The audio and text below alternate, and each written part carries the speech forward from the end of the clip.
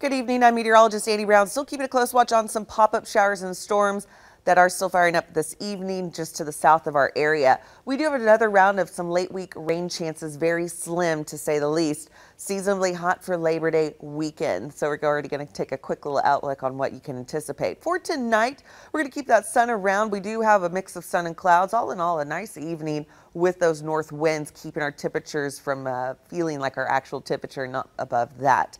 66 for that overnight low, much better than what we've seen over the last several nights. Normal for this time of the year is 69 degrees. So we're seeing those temperatures gradually falling as we go through the next several weeks. So we're getting closer to fall. And uh, we love seeing those numbers a little bit cooler than what we've had over the last uh, several weeks and even months for that matter. North winds are in play and we're going to keep high pressure involved. So that's going to keep us dry up until Thursday. We do have a passing cold front that's really going to shake those temperatures up ever so slightly.